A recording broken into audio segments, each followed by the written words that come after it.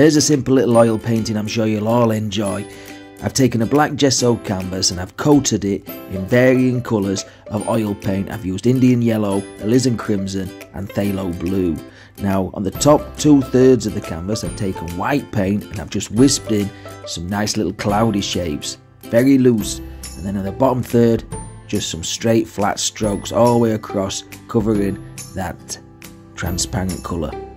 A clean dry brush, just blend all these colours together and then go back and add some stronger clouds if you so wish.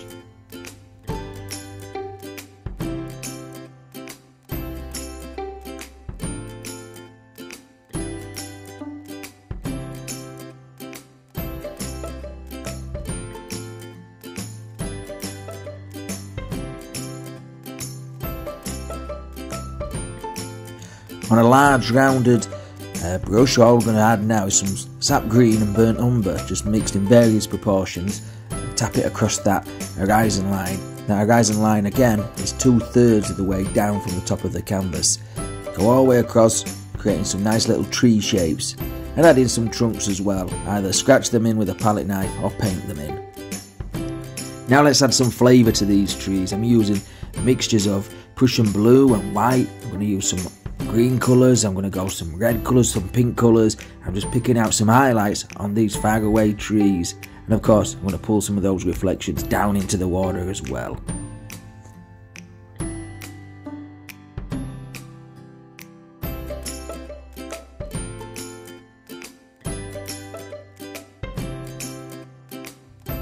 Go backwards and forwards with colour. Don't forget, we need dark to show light and light to show dark need contrast. So let's work on that.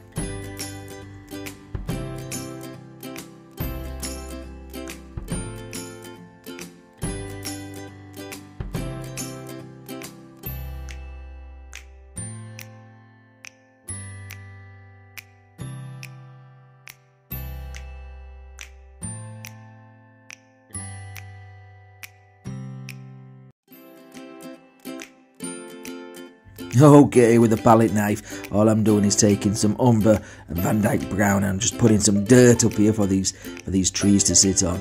What we're going to do is put a little bit of highlight on top of this dirt as well and reflect that into the lake below.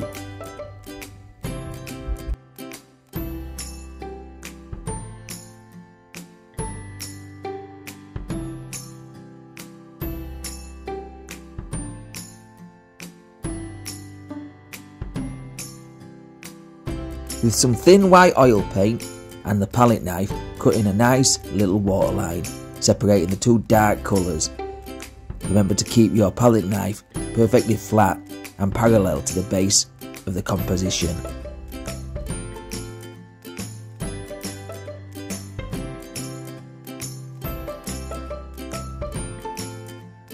Add some foliage to the foreground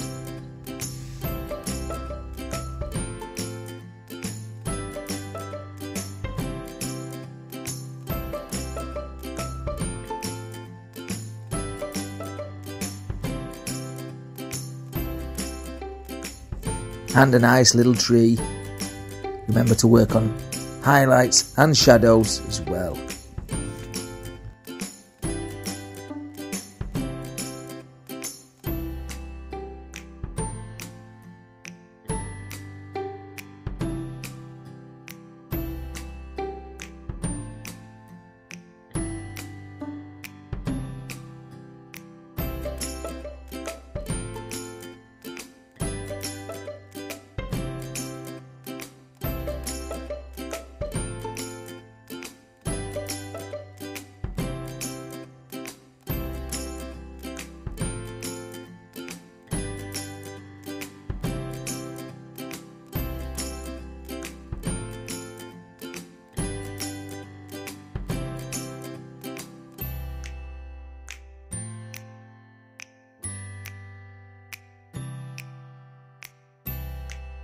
Using a lighter green colour, add some highlights to the, uh, to the leaves on the trees and on the grasses in the foreground.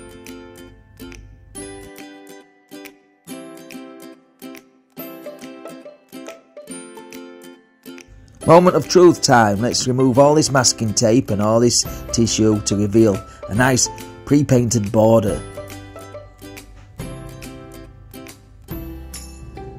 These little canvases do make fantastic gifts for family and friends and if you'll give this painting a go, please tag me in a picture. I'd love to see what you're doing.